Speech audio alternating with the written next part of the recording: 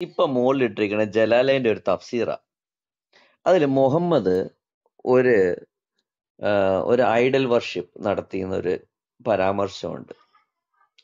അതെന്താണെന്നൊന്ന് അറിയാൻ വേണ്ടിയിട്ടായിരുന്നു. മുഹമ്മദ് ഒരു മറ്റ് ഗോത്രക്കാരുടെ ദൈവത്തെ വിളിച്ച് പ്രാർത്ഥിക്കുന്നത് ആ ഒരു വേറൊരു ഗോത്രക്കാർ കേട്ടു. അവർ വന്നിട്ട് പോയി പറഞ്ഞു മുഹമ്മദ് മറ്റേ ദൈവത്തെ വിളിച്ച് പ്രാർത്ഥിക്കുന്നു എന്ന്.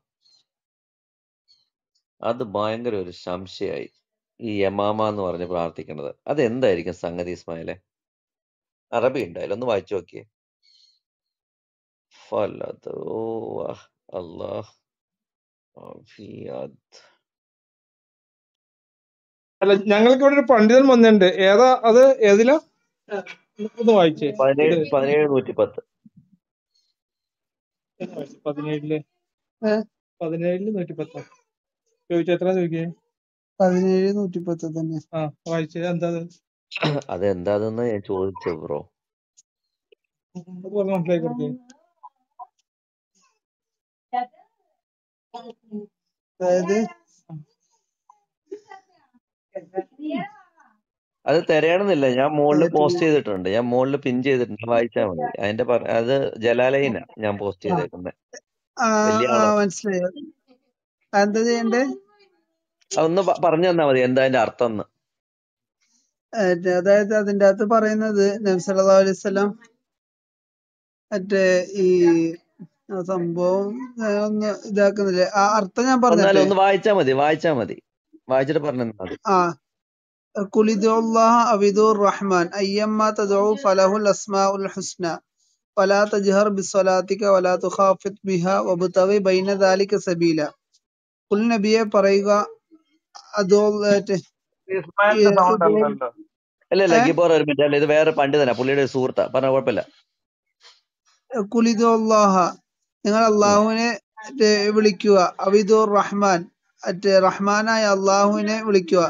അയ്യമ്മ തദോ നിങ്ങൾ ഇനി എങ്ങനെയെല്ലാം വിളിച്ചു കഴിഞ്ഞാലും ഫലഹുൽ അസ്മാഉൽ ഹുസ്ന. അള്ളാഹു അള്ളാഹുവിന് മഹത്ത മഹത്തരമായ ചില നാമങ്ങളുണ്ട്. ഓക്കെ. ഈ നാമങ്ങളോട് കൂടി എന്ത് ചെയ്യും? ദ്വാ ചെയ്യാനായിട്ട് പറയുവാണ്. Okay wonderful. വളരെ നന്നായി. ഇനി ആ. ആയത്തിറങ്ങാനുണ്ടായ സന്ദർഭം ഒന്ന് പറയോ? അതൊന്ന് എനിക്ക് അതൊന്ന് നോക്കണം അതൊന്ന്.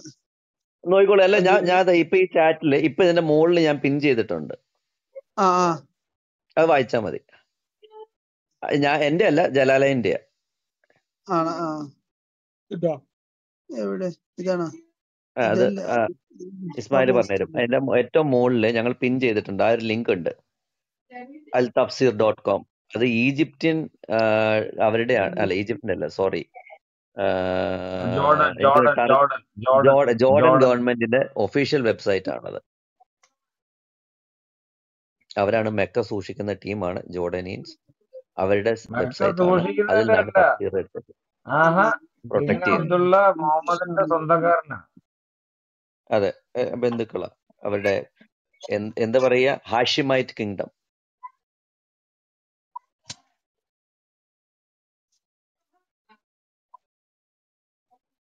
ഒന്ന് വായിച്ചോളൂ.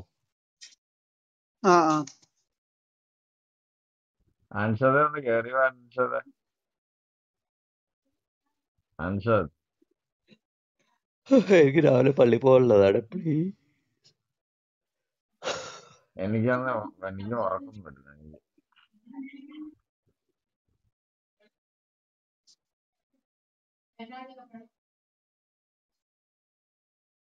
ബ്രോ ഒന്ന് വായിക്കോ ബ്രോ പ്ലീസ് പെട്ടെന്ന്. ഞാൻ വായിക്കട്ടെ? ആ ഒന്ന് വായിക്കുന്നു ഞാൻ വായിച്ചുതരാം ഞാൻ വായിച്ചുതരാം ഇംഗ്ലീഷിലാണ് ഞാൻ വായിക്കണേ. ഞാൻ മലയാളത്തിൽ പറയാൻ ശ്രമിക്കാം. താങ്കൾ കുഴപ്പമില്ല. സേ ക്രൈ അൺ ടു അല്ല and cry unto beneficent പതിനേഴിന്റെ നൂറ്റി പത്ത് അപ്പൊ said Ibn Abbas once one night in Mecca the messenger of one night in Mecca Messenger ഓഫ് Allah and bless him, give him peace, stood in front of night vigil prayer. Um, അതിന്റെ അർത്ഥം ഒന്ന് പറഞ്ഞു തരുമോ bro please one night in Mecca the messenger of Allah stood up for the night vigil prayer. രാത്രി പ്രാർത്ഥനയ്ക്കായിട്ട് എഴുന്നേറ്റു എന്നായിരിക്കും അല്ലേ ആ വിജിൽ.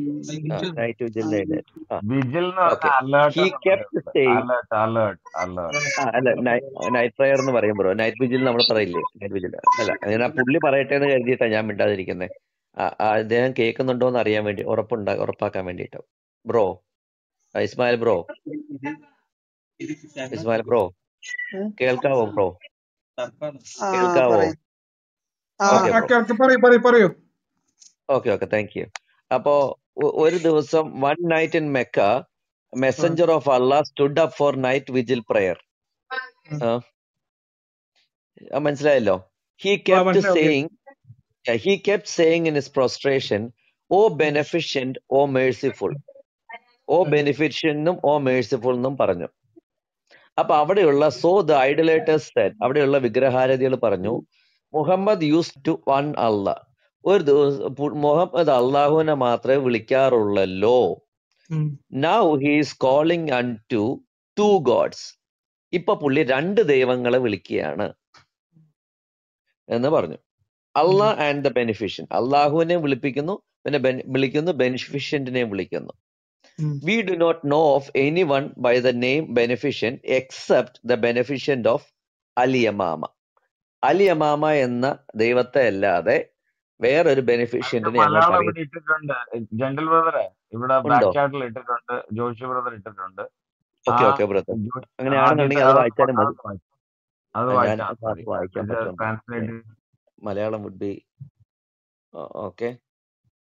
ഇതൊന്ന് വായിച്ചാൽ ഇട്ടേക്കുന്ന ജോഷി വിൻസെന്റ് ഇട്ടേക്കുന്ന ആദ്യമാണുള്ള ആ ജി അത് വേണ്ട. അത് അത് അത് ഗൂഗിൾ ട്രാൻസ്ലേഷൻ അത്ര ക്ലിയർ ആവാറില്ല ബ്രദറെ. ഞാൻ ഇന്നെ വായിച്ചോളാം. കുഴപ്പമില്ല. I am good. Thank thank you. yeah yeah i think uh, that doesn't give convey the exact message ഇച്ചിരി അതിൽ ബ്രാക്കറ്റ് ഒക്കെ കൺഫ്യൂസ്ഡ് ആകും. ഓക്കെ? അപ്പോ അവർ പറയാം അപ്പൊ മുഹമ്മദ് രണ്ട് ദൈവങ്ങളെ വിളിച്ച് പ്രാർത്ഥിച്ചു. ഒന്ന് യമാമ എന്ന് പറയുന്ന ദൈവവും ഒന്ന് അള്ളാഹ് എന്ന് പറയുന്ന ദൈവവും. ഓക്കെ? ബ്രദർ ഇസ്മായിൽ കേൾക്കാനുണ്ടോ? ഇസ്മായിലിന്റെ അടുത്തിരിക്കുന്ന ബ്രദറിന്? ആ അത് നെറ്റ് കിട്ടുന്നാത്തൊരു വിഷയമുണ്ടേ. അയ്യോ സോറി. ഞങ്ങൾ എന്ത് ചെയ്യും ബ്രദറെ? അല്ല പറഞ്ഞ പറഞ്ഞ. ഈ മൊബൈലിൽ കേൾക്കാം. ഓക്കെ ഒന്ന് പറഞ്ഞോളൂ. അപ്പോ ഞാൻ വായിക്കാത് അപ്പൊ മുഹമ്മദ് രണ്ട് ദൈവങ്ങളെ വിളിച്ച് പ്രാർത്ഥിക്കുന്നു എന്ന് അവിടെയുള്ള വിഗ്രഹാരാധികൾ പറഞ്ഞു. ഒന്നിന്റെ പേര് അള്ളാഹ് എന്നും ഒന്നിന്റെ പേര് യമാമ എന്നും അതായത് യമാമ ഗോത്രത്തിലെ അവിടുത്തെ ആ ദൈവത്തെ ആ ദൈവത്തിന്റെ പേര് വിളിച്ച് മുഹമ്മദ് പ്രാർത്ഥിക്കുന്നു. So Allah exalted is he reveal this verse അപ്പോഴാണ് അള്ളാഹു ഈ ഈ ആയത്ത് ഇറക്കി കൊടുത്തത്. ഏ? എങ്ങനെയുണ്ട്? അപ്പൊ ഈ മുഹമ്മദ് എന്തിനാ ഈ രണ്ട് ദൈവങ്ങളുടെ പേരിൽ വിളിച്ച് പ്രാർത്ഥിച്ചതെന്നാണ് എന്റെ ചോദ്യം. അത് മുഴുവൻ അവിടെ അവിടെ അവിടെ പറയുന്നത് മുഹമ്മദ് നബി രണ്ട് ദൈവങ്ങളെ വിളിച്ച് പ്രാർത്ഥിക്കുന്നു എന്ന് അവരാണ് പറയുന്നത് മുഹമ്മദ് നബി പ്രാർത്ഥിച്ചിട്ടില്ല. പ്രാർത്ഥിച്ചത് കൊണ്ടാണല്ലോ അവരങ്ങനെ പറഞ്ഞത്. അല്ല അവരുടെ വാക്ക് അവ- അവരങ്ങനെ പറയുന്നു. അവർക്ക് തെറ്റിദ്ധാരണയാവും മുഹമ്മദ് നബി ഒരു ദൈവത്തെ വിളിച്ച് പ്രാർത്ഥിക്കുന്നുള്ളൂ. അള്ളാഹുവിനെ അല്ലാണ്ട് അല്ല അപ്പൊ താങ്കൾക്ക് ഇത് തുടർന്ന് വായിക്കേണ്ട ഒരു ആവശ്യകതയുണ്ട്. ഞാൻ തുടർന്ന് വായിക്കാം. താങ്കൾ ഈ കൺഫ്യൂഷൻ വരുമെന്ന് എനിക്ക് വരുമോ ഇല്ലയോ ഞാൻ വെച്ച് താങ്കൾ ഇച്ചിരി അറിവുള്ളവനാണെന്ന് കരുതിയിട്ട ഞാൻ ബാക്കി വായിപ്പിക്കാതിരുന്നത്. താങ്കൾക്ക് അത് അറിയാമെന്ന് കരുതിയിട്ട്. ഇനി ഞാൻ താങ്കൾ ഇങ്ങനെ പറഞ്ഞ സ്ഥിതിക്ക് അത് ജെന്റൈൽസിന്റെ സംശയമാകും എന്ന് താങ്കൾ പറഞ്ഞ സ്ഥിതിക്ക് ഞാൻ തുടർന്ന് വായിക്കാം. ഓക്കെ? വെയിറ്റ് ചെയ്തോളൂ. അപ്പോൾ എന്ത് സംഭവിച്ചു? അങ്ങനെ രണ്ട് ദൈവങ്ങളെ വിളിച്ചു. ഇതാ കേട്ടോ. Muhammad use to call unto അല്ല now he is calling unto two gods അല്ല ആൻഡ് ദ ബെനഫിഷ്യൻ ആൻഡ് ആണ് ഉപയോഗിച്ചിരിക്കുന്നത്. We do not know of anyone by that name of the beneficent except the one at അലിയമാമ the beneficent of അലിയമാമ അലിയമാമ എന്നല്ലാതെ വേറെ ബെനിഫിഷ്യൻ ഞങ്ങൾക്ക് അറിയത്തില്ല. സോ അല്ല എക്സോൾട്ടഡ് വെയിറ്റ് ചെയ്യൂ ബ്രദറെ ഞാൻ വായിച്ച് കഴിയുമ്പോൾ താങ്കൾക്ക് മനസ്സിലാവും.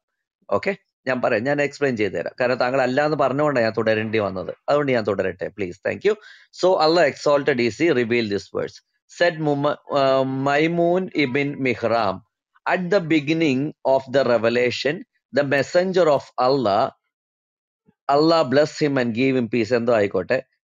Use to write only in the name of Allah until this verse was revealed പുള്ളി അതുവരെ അള്ളാഹുവിന്റെ നാമത്തിൽ എന്ന് മാത്രം എഴുതാനുണ്ട എഴുതാറുണ്ടായിരുന്നുള്ളൂ. ഓക്കെ? എന്ത് എഴുതുമ്പോഴും. ഓക്കെ?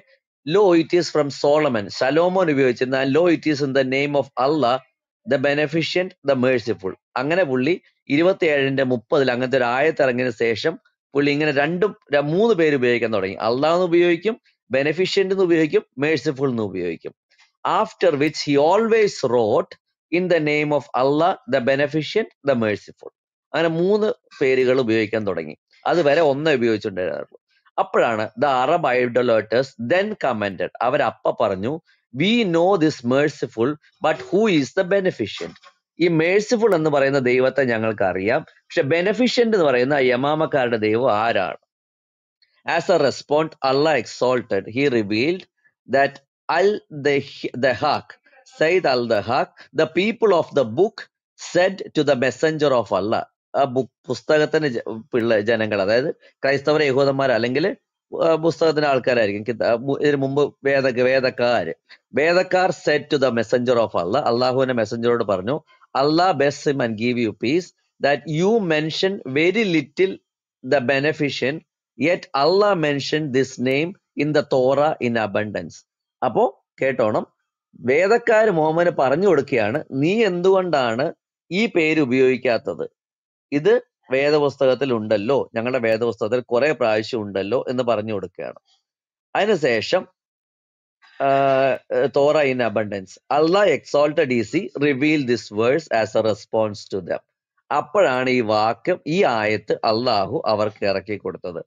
എന്നിട്ട് പറയാണ് കേട്ടോണം ശ്രദ്ധിച്ച് കേട്ടോണം. ബി മോമനോട് പറഞ്ഞു കൊടുക്കുക be not loud voiced in thy worship nor yet silent therein but follow the way between നീ സൈലന്റ് ആയിരിക്കാനും സൈലന്റ് ആയിട്ടും പ്രാർത്ഥിക്കരുത്. മൗനമായിട്ടും പ്രാർത്ഥിക്കരുത്. ഉറക്കയും പ്രാർത്ഥിക്കരുത്. മോഹനോട് പറയുക എന്താ കാര്യം? മോഹ അത് പതിനേഴിന്റെ നൂറ്റിപ്പത്തിലുള്ള ആയത്താണ് ഞാൻ വായിച്ചത്. ഉറക്കയും പ്രാർത്ഥിക്കരുത് പതുക്കെ പതുക്കെയും പ്രാർത്ഥിക്കരുത്.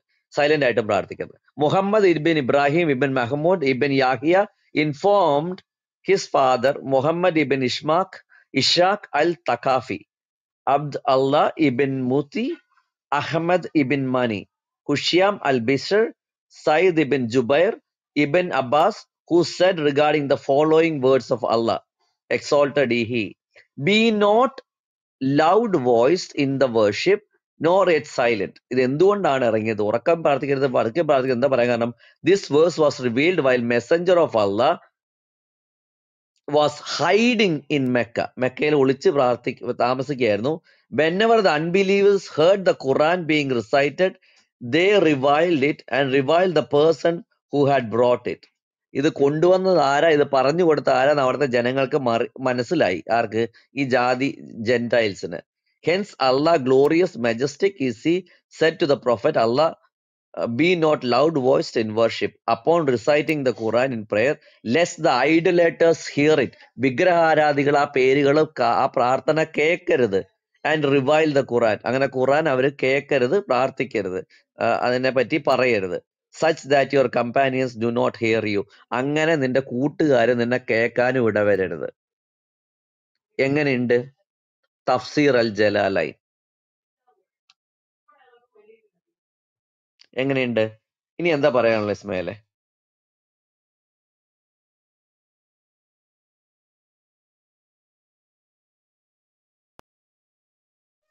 താങ്കൾ ആ, താങ്കൾ എന്ത് വാദമാണ് ഇതിലൂ ഇതിലൂടെ ഒന്ന് ഉന്നയിക്കുന്നതെന്ന് പറയൂ? മൂന്ന് വാദങ്ങളാണ് അയ്യോ ഇത് അല്ലല്ല ഒരു മിനിറ്റ് ഒരു മിനിറ്റ്.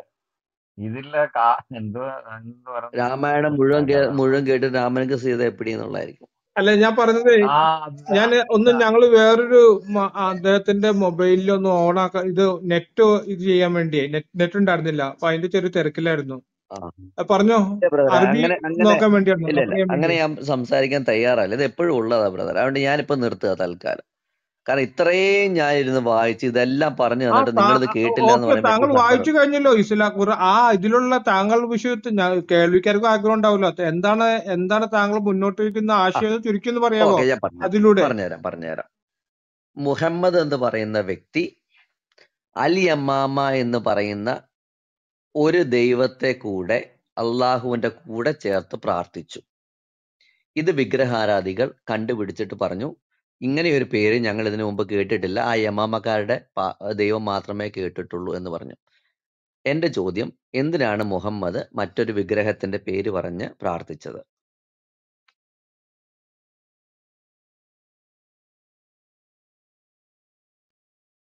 ആ ഞങ്ങൾ ഒന്ന് റെഫർ ചെയ്തിട്ട് ഒന്ന് പറഞ്ഞ പോരെ? മതി ബ്രദർ എപ്പോഴാ വരാന്ന് എന്ന് പറഞ്ഞാൽ ഞങ്ങൾ അപ്പോ വരാം അദ്ദേഹം റെഫർ ചെയ്തിട്ട് എന്നെ അറിയിക്കുമ്പോൾ ഞാൻ വിളിക്കാം. നമുക്ക് ഞാൻ എന്തായാലും ഞങ്ങളുടെ അല്ല ഇതിന്റെ ആയത്തും ഇതിന്റെ ജലാലയിന്റെ ഈ സാധനം എല്ലാം കോപ്പി ചെയ്ത് എടുത്ത് വെച്ചു. അതൊക്കെ വെച്ചോളൂ ഇസ്മായിലെ. അവിടെ നമുക്ക് തുടങ്ങാം. ആ അതൊക്കെ റെഫറൻസ് എടുത്ത് പോയി. നിങ്ങൾ വീട്ടിൽ ഇരുന്ന് വായിക്കുവോ? നിങ്ങൾ ഉസ്താദന്മാരോട് ചോദിക്കുവോ? അല്ല നിങ്ങൾ ഒരു ക്ലാസ് എടുക്കുക അത് കഴിഞ്ഞിട്ട് നാളെ വരുന്നതല്ലേ ഏറ്റവും ബെസ്റ്റ് ഒരു ഹോംവർക്ക് ഒരു ഹോംവർക്ക് ചെയ്തിട്ട് ആ അതൊന്ന് ഒന്ന് റെഫർ ചെയ്തിട്ട് അത് ഒന്ന് കൃത്യത വരുത്തിയിട്ട് അതിന്റെ മറുപടി ഓക്കെ നൽകാം. അപ്പൊ ആയത്ത് മനസ്സിലായോ? ആയത്ത് ഒന്നുകൂടെ പറഞ്ഞ ഒന്നുകൂടെ പറഞ്ഞ ജനറൽ ബ്രദറെ പതിനേഴ് നൂറ്റി പത്ത്. യാ ബ്രദർ പതിനേഴാം എനിക്ക് സൂറത്തല്ല പ്രശ്നം. എനിക്ക് ആയം പ്രശ്നം ആയത്തം പ്രശ്നമല്ല. എന്റെ പ്രശ്നം ജലാലയൻ എന്തായി പറയുന്നതെന്നുള്ളത് എനിക്ക് അറിഞ്ഞാൽ ഞാനത് ആ ജലാലയിലുള്ളത് ഞാൻ അങ്ങനെ തന്നെ അതിന്റെ ആരായാലും താങ്കളൊന്ന് നോക്കിക്കോളൂ ബ്രദറെ? ഞങ്ങളുടെ സൈറ്റ് അല്ല. ഇത് ജോർദാൻ ഗവൺമെന്റ് സൈറ്റ് ആണെന്നും കൂടെ ഓർക്കണം. ആ മറ്റേ നമുക്കിപ്പോ ഇപ്പൊ സൈറ്റിന്റെ വിഷയത്തിൽ എനിക്ക് അല്ല. അത്ര ഞാൻ നേരിട്ട് ഞാൻ കിതാബുകൾ പരസ്പരം ഞാൻ ഇതാക്കാറേ ഉള്ളൂ വണ്ടർഫുൾ താങ്കളുടെ പേരെങ്ങനെയാണ്? അല്ല പറയാൻ ബുദ്ധിമുട്ടുണ്ടെങ്കിൽ പറയണ്ട. കോർത്തുബി ഒക്കെ ഉണ്ടോ? കോർത്തുബി ജലാലൈന് ആ വക്കീബി? കുർത്ത എന്റെ വീട്ടിൽ ഇരിപ്പുണ്ട്. ഞാൻ അതിന്റെ എല്ലാത്തിന്റെ ഞാൻ ഫോട്ടോ അയച്ചുതരാം നിങ്ങൾക്ക്. ആ വേണ്ട വേണ്ട വേണ്ട വേണ്ട. ആ ഞങ്ങൾ അങ്ങനെ അവിശ്വസിക്കുന്ന ആളേ അല്ല. ഞങ്ങൾക്ക് അതിന്റെ ഒന്നും ആവശ്യമില്ല ബ്രദറെ നിങ്ങളത് വായിച്ചാൽ മാത്രം മതി. എന്നൊന്ന് പറഞ്ഞാലും മതി. താങ്ക് യു താങ്കളെ പോലെയുള്ള ഇച്ചിരി സംസാരിക്കാൻ അറിയുന്ന ആൾക്കാരുടെ അടുത്ത് ഇസ്ലാം പഠിക്കാനാ ഞങ്ങൾക്ക് ആ ഇഷ്ടം ഞങ്ങളുടെ കയ്യിൽ എല്ലാവരും ഉണ്ട് കേട്ടോ അങ്ങോട്ട് മോശം വിചാരിക്കുന്നു വേണ്ട.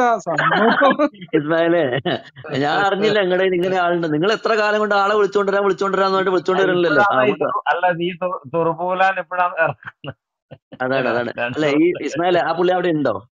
ആ പുള്ളി എനിക്ക് പറഞ്ഞ പുള്ളി ഇച്ചിരി വായിച്ചിട്ടുള്ള പുള്ളിയാന്ന് തോന്നുന്നു. ആ പുള്ളി അവിടെ ഉണ്ടെങ്കിൽ ഒന്ന് സംസാരിച്ചോട്ടെ? ഒരു കാര്യം അറിയാൻ വേണ്ടി.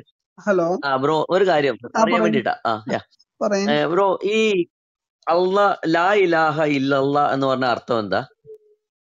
ലാ ഇലാഹ അള്ളാഹു അല്ലാതെ മറ്റൊരു ആരാധ്യനില്ല ബ്രദറെ ഇത് ഞാൻ കുറെ പ്രാവശ്യം പലരോടും ചോദിച്ചിട്ടുള്ളതാണേ. അപ്പൊ അതുകൊണ്ട് ഒന്ന് പറയുമ്പോ ശ്രദ്ധിച്ച് പറയണേ. കാരണം എനിക്ക് അതിൽ ഒത്തിരി സംശയങ്ങളുണ്ട്. അതുകൊണ്ടാ. ഓക്കെ. ലാ ഇലാഹ ഇല്ലല്ലാന്ന് ഇല്ലല്ലാ എന്ന് പറഞ്ഞ അർത്ഥം എന്താ? ആ നിങ്ങൾക്ക് എന്തർത്ഥം നിങ്ങൾ ഉദ്ദേശിക്കുന്നത് അതിന്റെ മലയാളം അർത്ഥം.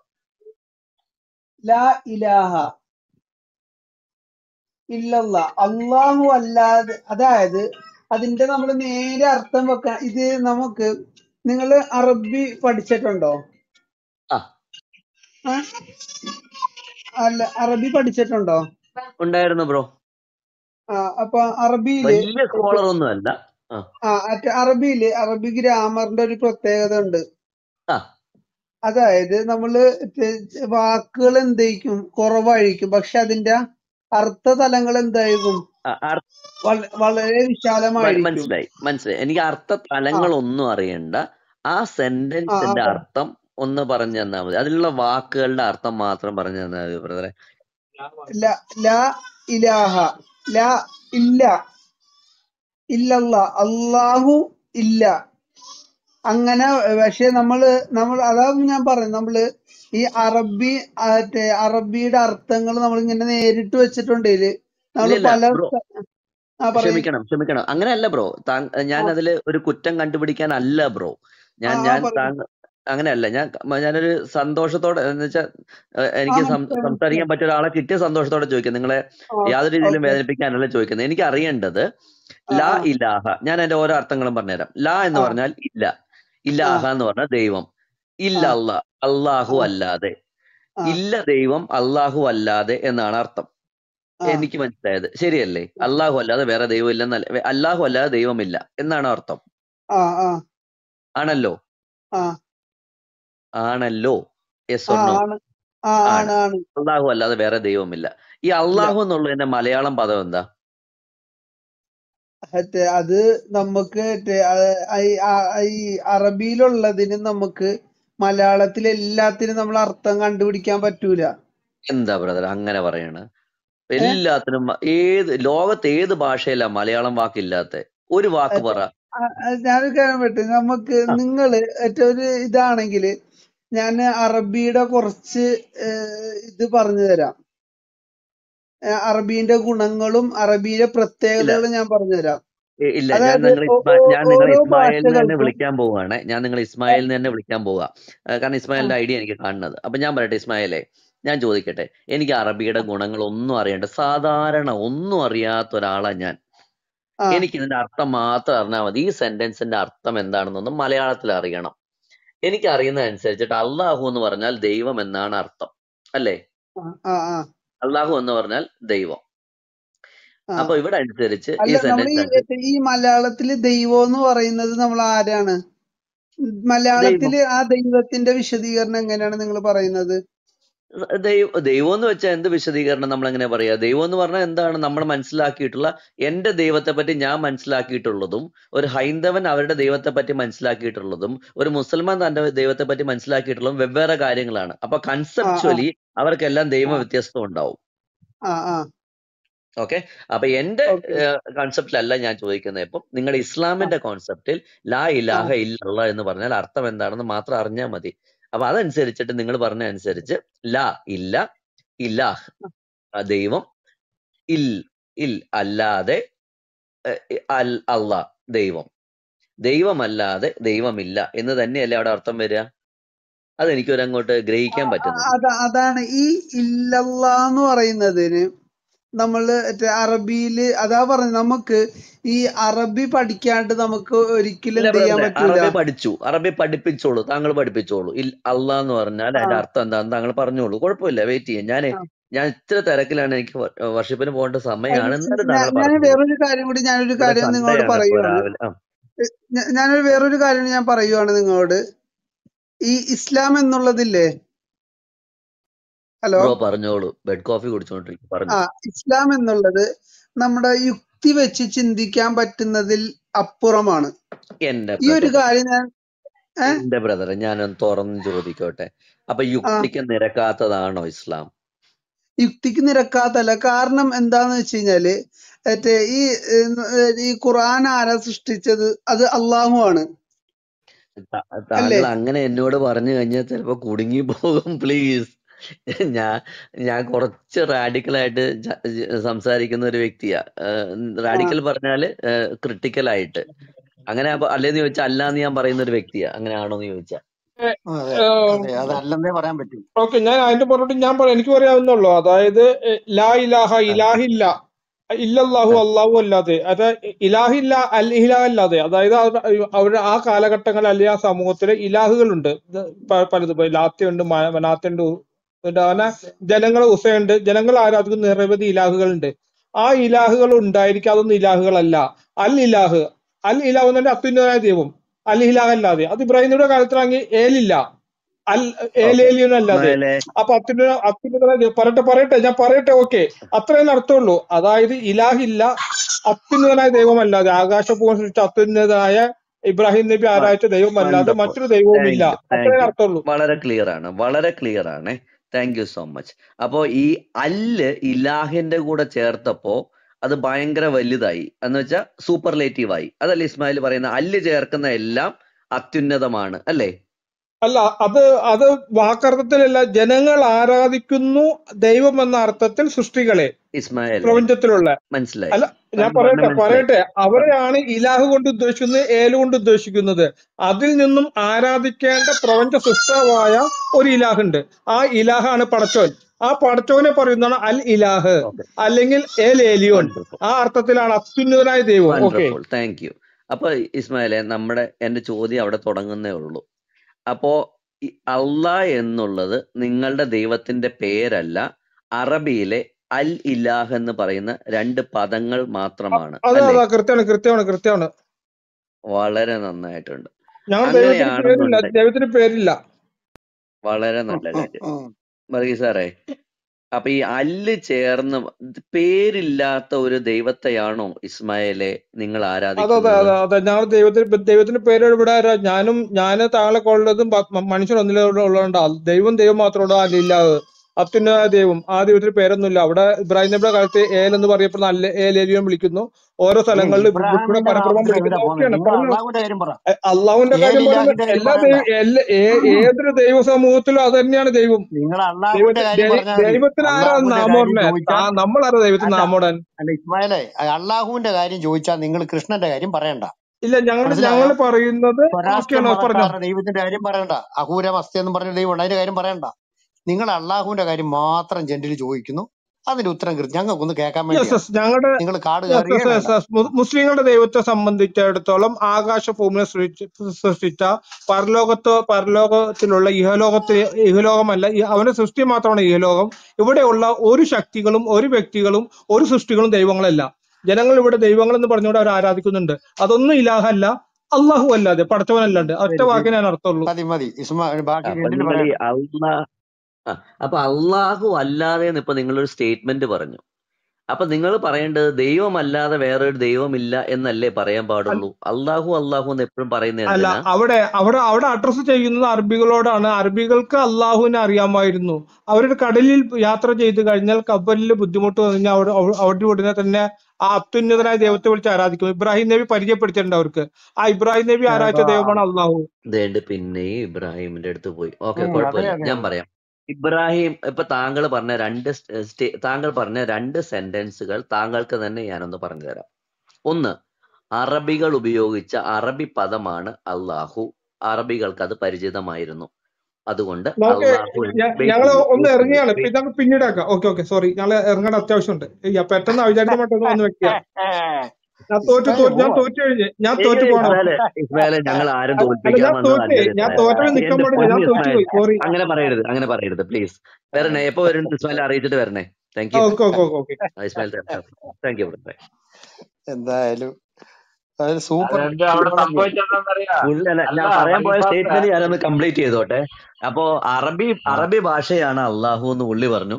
എന്നിട്ട് ഇബ്രാഹിം പരിചയപ്പെടുത്തി കൊടുത്തത് ഇബ്രാഹിം അറബിയാണോ സംസാരിച്ചത് എന്റെ പൊന്ന് ഹബീബി ചിരിച്ചിട്ട് മണ്ണ് ഹബീബി ഞാൻ അവിടെ വെച്ച് പുള്ളിയുടെ മുമ്പിൽ വെച്ച് ചിരിച്ചു കഴിഞ്ഞാൽ പുള്ളിയെ കളിയാക്കാണെന്ന് തോന്നുന്നു വിചാരിച്ചിട്ടാ ചിരിക്കാതിരുന്ന്